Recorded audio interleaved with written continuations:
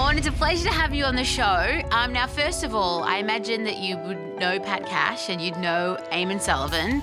If you were going to choose a team to be on, who would you like to be your team captain? I think I'd um, I'd like to go with Eamon because I know he's very competitive. Although uh, Pat might give me a, clip underneath the ears, but uh, it, it, would be hard. I I don't know. Probably thinking my age, I'd go with Pat.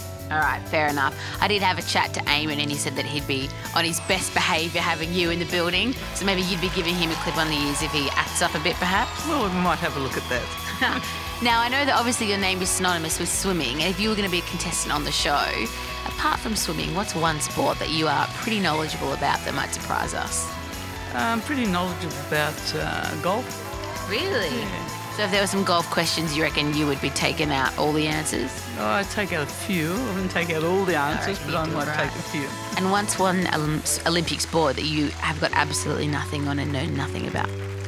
Um, well, I know a lot about various sports, but there are some rules that I don't know a lot about. So it's, um, I guess probably boxing and wrestling would be. Ooh. I have a 10 year old or nearly 10 year old grandson that keeps me fairly fit because I've got to kick the football with him, I've got to play cricket with him, I've got to ride push bikes with him. I've got That's to... better than the average grandma. They just kind of sit down and let's have a cup of tea. Oh, no, no, we've got to go and play. Do you have any understanding of just how much of a huge career you've had and in your day, you know, how, how big a deal that was? Or are you just grandma?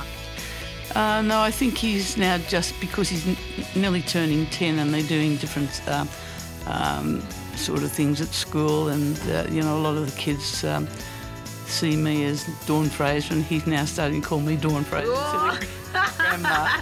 But um, you know, he knows that, uh, what sort of a career I've had, and um, you know, I've not, I've, you know, failed to tell him a lot about it, but. Um, you know, he's learning things from school, and when he asks questions, uh, I give him the, the, honest answers. And he's seen my gold medals, and he looks after oh, them. Oh, that's pretty cool. If you were my grandma, I'd be bringing you for show and tell like every week.